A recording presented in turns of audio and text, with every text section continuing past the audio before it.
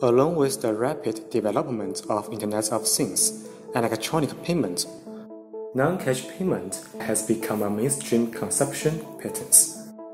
A common example is the use of bus tickets vending machine.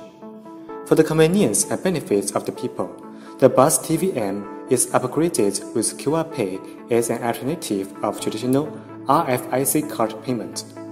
Passengers make their payments by scanning the QR code or swiping the IC card, and the payment signal will be decoded and transmitted to MCU in the payment system of TVM. The bus IC card terminal separates the QR code from RF without mutual interference from each other and makes mobile QR Pay possible. The bus IC card terminal takes power from 12 volt or 24 volt standard batteries.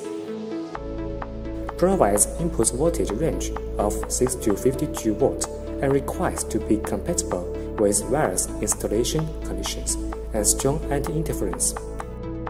In this case, Mornsun develops an ultra-wide input voltage DC-DC converter UW240512D and 20 volt.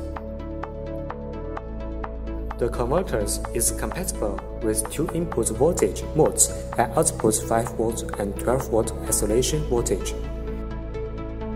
The outputted 5 volt medium powers ISM card display, RF card module, and external USB interface, while 12 volt medium powers voice amplifier main control chip is powered by 3.3 V and Mornsun K78L03 and 500R3 is recommended.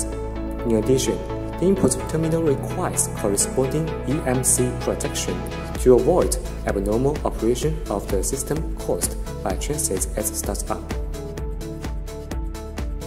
With the exception of W24, 0512D and 20 volts for QR Pay, UW24, 05D and 20 volts is suitable for traditional RFIC card payment the two converters are specialized for on-vehicle equipment, providing a wide input voltage, strongly capacitive and high reliability, and meeting electronic spark interference test.